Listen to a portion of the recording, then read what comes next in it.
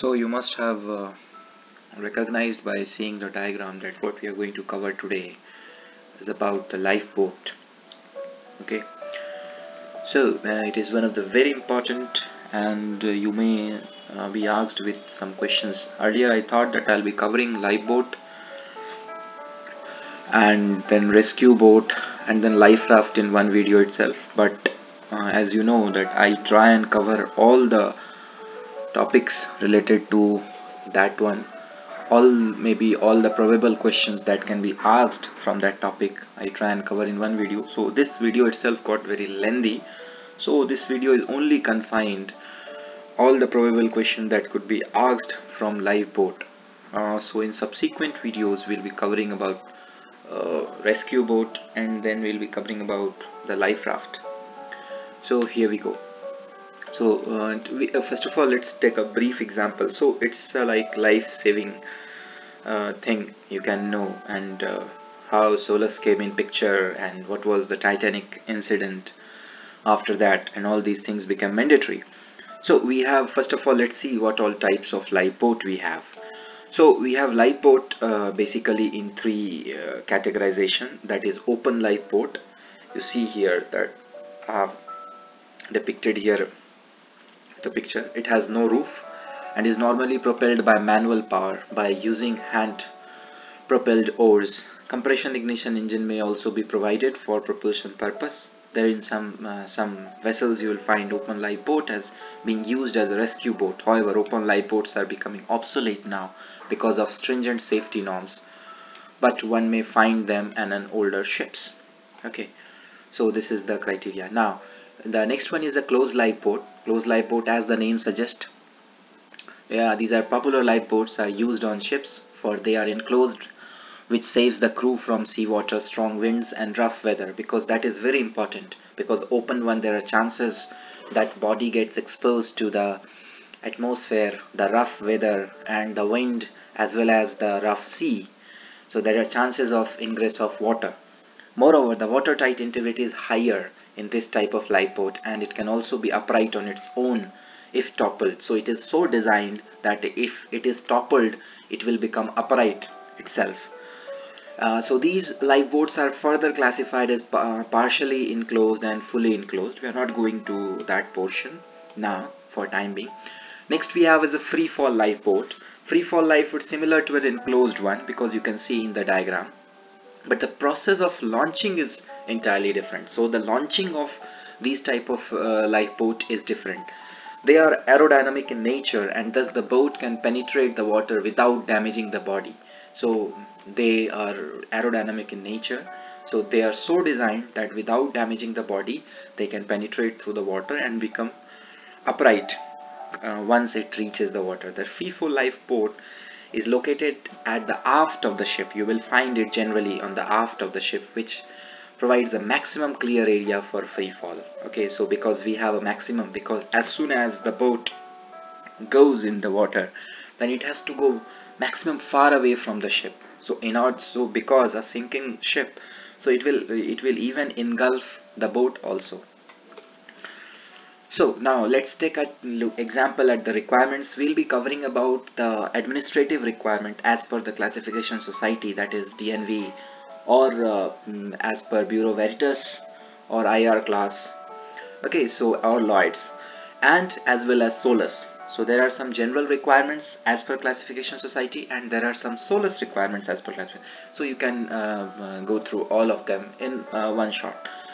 All lifeboats shall be properly constructed and have ample stability in seaway, sufficient freeboard when loaded with their full complement of person and equipment, have rigid hull, so these things are self-explanatory, shall be capable of maintaining positive stability, so there always need to be positive when in upright position in calm water and loaded with their full complement of person and equipment. And and there is also a hole that is in uh, that is for the drain purpose because the water that's there so there is the stability should not be lost uh, even if in the presence of that hole so it is so designed. Each lifeboat shall be fitted with a certificate of approval. So there is a certificate of approval endorsed by the administration containing at least the following items. So these are the items that represent that is manufacturer's name and address.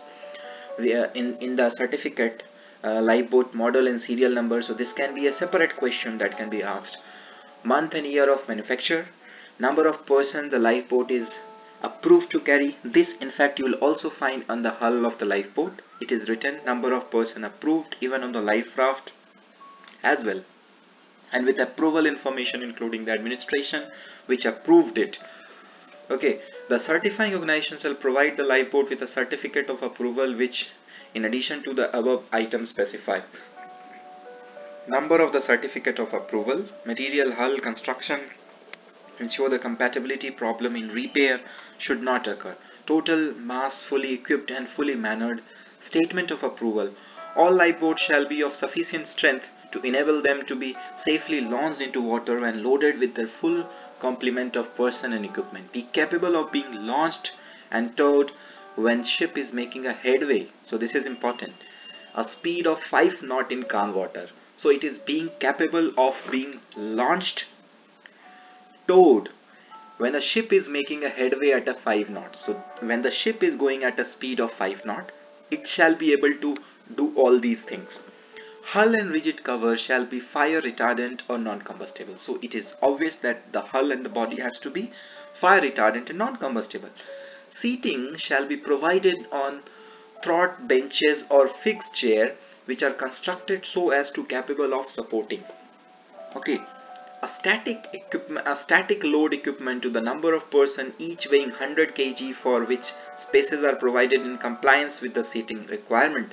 So each seat and the compliance is so that each seat is designed for a person to be of weight of 100 kg. So in fact everyone will not be of 100 kg or um, so there are um, uh, minimization a load of 100 kg in any single seat location when a lifeboat to be launched by fall is dropped into the water from a height of at least 3 meter.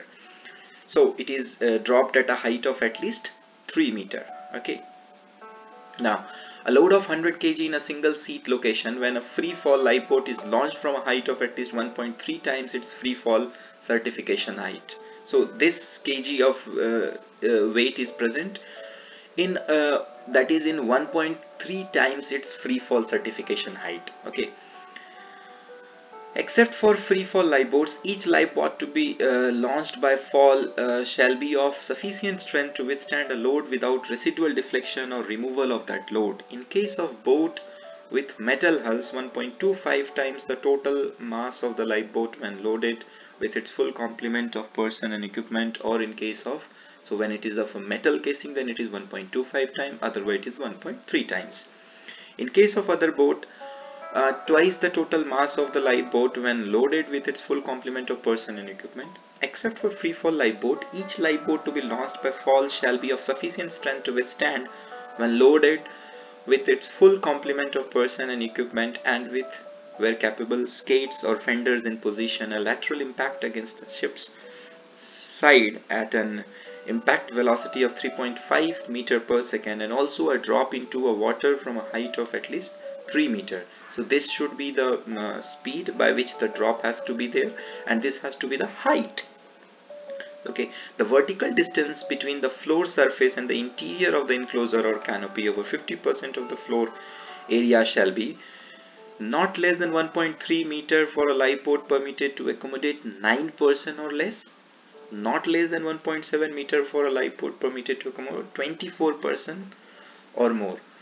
Not less than distance as determined by the linear interpolation between 1.3 to 1.7 so there is an interpolation between these two distances for a lifeboat in, in order to accommodate 24 persons no lifeboat shall be provided to accommodate more than 150 persons. So this cannot be a lifeboat designed more than 150 persons. So it, this only goes in the case of a passenger ship. So these figures. The number of persons which a lifeboat to be launched by fall shall be permitted to accommodate shall be equal to the lesser of number of person having an average mass of 75 kg all wearing life jackets. So these are taken into account all average mass is taken as 75 kg. All are wearing life jacket that can be seated in a normal position without interfering with the means of propulsion. So there should not be an interference with the means of propulsion on the lifeboat equipment. Number of spaces that can be provided on the seating arrangement in accordance with figure that we have shown you. And the space may be overlapped as shown. Okay so the, uh, so if there is an interference so the space can be overlapped each seating position shall be clearly indicated in the lifeboat so each you, you must have seen while in your drills that seatings are clearly indicated. Access into lifeboat every passenger ship lifeboat shall be so arranged that it can be rapidly boarded. So it, these are obvious points. Every cargo ship lifeboat shall be so arranged that it can be boarded by its full complement of person in not more than 3 minutes okay so the time requirement is also there not more than 3 minutes so these things you will not find everywhere in 3 minutes uh, for a cargo ships it has to be boarded lifeboat shall have a boarding ladder that can be used at any boarding entrance of the lifeboat to enable person in water to board the lifeboat. The lowest step of the ladder shall be not less than 0.4 meter below the lifeboat's water line. So wherever the water lifeboat line is there, this should not be less than 0.4 meter. Okay. Now access to the lifeboat is done. Now we go on for uh, lifeboat buoyancy. Now again these two points are left. The lifeboat shall be so arranged that the helpless people can be brought on board either from the sea or on stretchers. Okay, all surfaces on which persons might walk shall have a non-skid finish. Okay, lifeboat buoyancy. So what has to be the buoyancy? A lifeboat uh, shall have inherent buoyancy. So there is an inherent buoyancy to be fitted with inherently buoyant material which shall be which shall not be adversely affected by seawater, oil or oil products.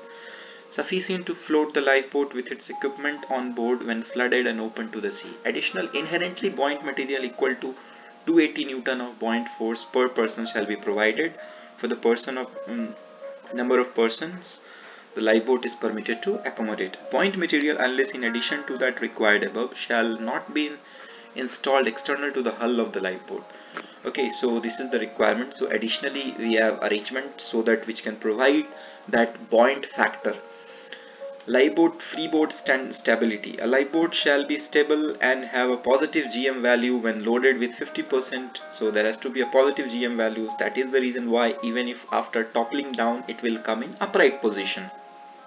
50 percent of okay under the condition of loading described above each lifeboat with sides opening near the gunwale shall have a freeboard uh, measured from the waterline to the lowest opening through which the lifeboat may become flooded okay so there has to be a freeboard measured for only for opening uh, open type of lifeboat so which are becoming obsolete so it's not so much important.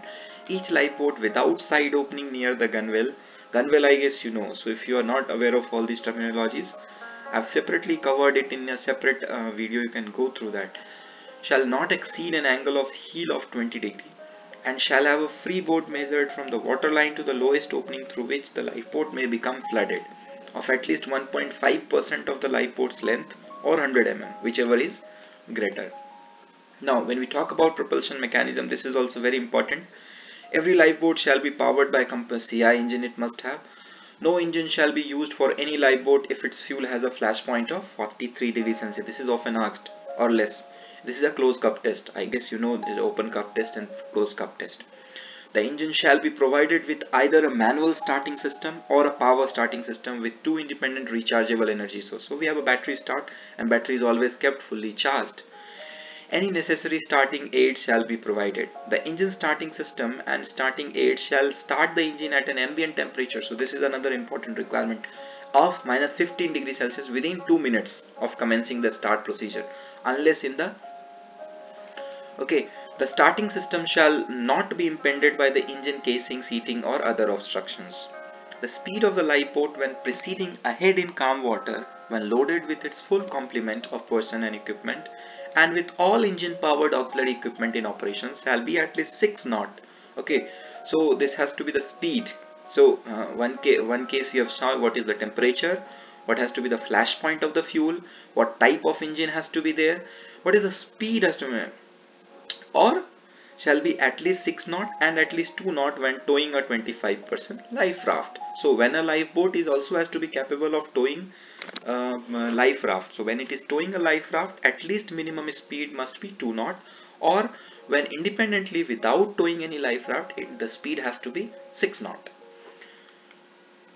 Sufficient fuel suitable for use throughout the temperature range expected in the area in which the ship operates shall be provided to run the fully loaded lifeboat at 6 knot for a period not less than 24 hours. So with this speed it, it must run for at least 24 hours.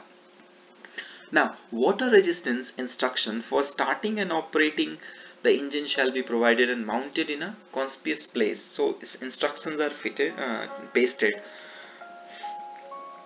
water fittings that we have? All lifeboat except free fall lifeboat shall be provided with at least one drain valve that we have already discussed the whole in the beginning. Fitted near the lowest point in the hull which shall automatically open the drain water from the hull when the lifeboat is not waterborne and shall automatically close to prevent entry of water when the lifeboat is waterborne. Each drain valve shall be provided with a cap or plug to close the valve which shall be attached to the lifeboat by a lanyard, a chain or a suitable means. Okay, the drain valves shall be readily accessible from inside the boat and their position shall be clearly indicated. So there is there are even pumps also, there are bilge pumps. So all these indications are there. You have tank wherein every Saturday routine you go and start the lifeboat. You also check the level of oil.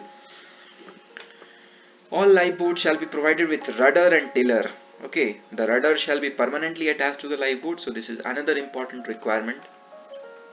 All lifeboats shall be fitted with sufficient watertight lockers or compartment to provide for the storage of the small items of equipment water and provisions. Every lifeboat be launched by a fall or a falls except a free fall lifeboat shall be fitted with release mechanism. So there has to be a re release mechanism so which shall has to be so arranged that all hooks are released simultaneously and release control shall be clearly marked in a color that contrasts with its surrounding.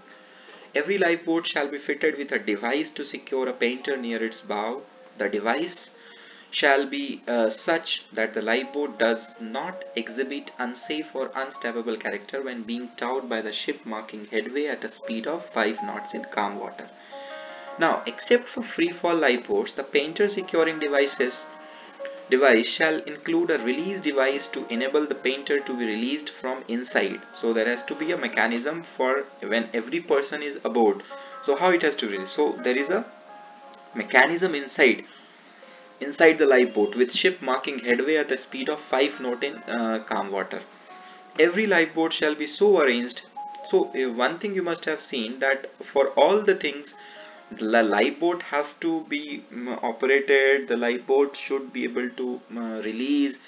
For the ship speed is minimum 5 knots okay? Except for free fall lifeboat the painter securing device shall uh, include a release device to enable the painter to 5 knots every lifeboat shall be so arranged that an adequate view forward aft and okay? So there has to be a vision so that one can look forward and aft. Control and steering position monitoring now lifeboat, when we talk about lifeboat equipments, this just will uh, go through in a faster manner. Sufficient buoyant oars, two boat hooks, a buoyant bailer, two buckets, a survival manual, operational compass, a sea anchor, two efficient painters. Yeah, you can pause the video and read it carefully. Two hatches, watertight receptacles. We have a, a rust-proof dipper with lanyard, a rust-proof graduated drinking vessel, a food ration totaling not less than 10,000 kilojoule for each person. So I guess uh, we'll be covering SOLAS Pack A and SOLAS Pack B, 4 rocket parachute flares, 6 hand flares, 2 buoyant smoke signals, 1 waterproof electric torch suitable for Morse signaling. So this I guess you are Morse signaling, you are aware of it one daylight signaling mirror, one copy of life-saving signals, one vessel, a first aid, a first aid outfit, anti uh, medicine, a, ja a jackknife, three three tin openers, two buoyant rescue quoits, a manual pump, one set of fishing tackles, so you can do fishing as well, sufficient tools, portable fire extinguisher equipment, a searchlight, an efficient radar uh, reflector, thermal protective aid, TPAs, aware of food ration and fishing tackles. uh, what are markings on live lifeboats this can be uh, the number of person for which the live lifeboat is approved shall be clearly marked on. It's okay. The name and the port of registry for the ship name of the ship and the port of the registry the live lifeboat belongs to uh, means of identifying and it has to be in Roman alphabets. Mean of identifying the ship to which the lifeboat belongs to and number of the lifeboat shall be marked in such a way that they are visible from above.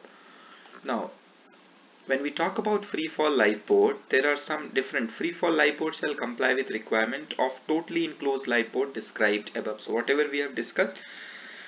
Now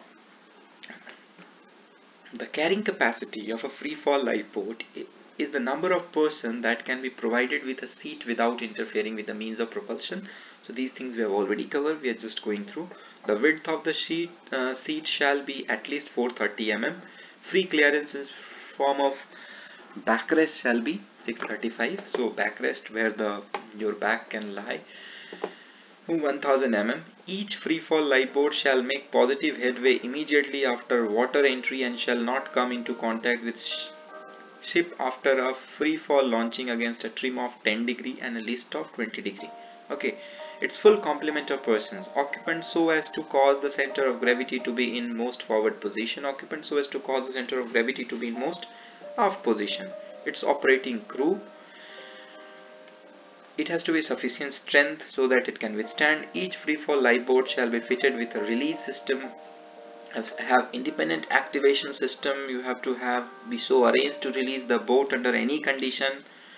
200% also. Uh, be adequately protected against accidental and premature use. Be designed to test the release system without launching the lifeboat be designed with a factor of safety of 6 FOS has to be 6 Necessary requirement fully enclosed live lifeboat certificate for approval for a free fall lifeboat shall also state uh, state free fall certification height. What what is the free fall certification heights? At means at what height it is desired. So these are the additional requirement for free fall live lifeboat required launching ramp length and launching ramp angle for the free fall certification height.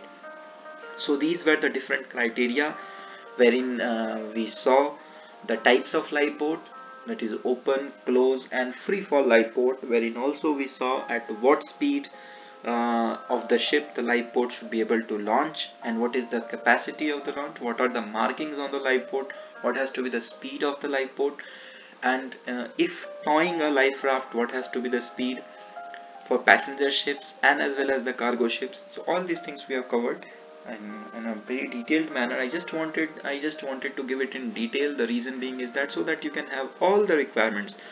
So apart from this and also about the engine its flashpoint. So these things some of the points those were very important which you can take away from uh, these things. Thank you so much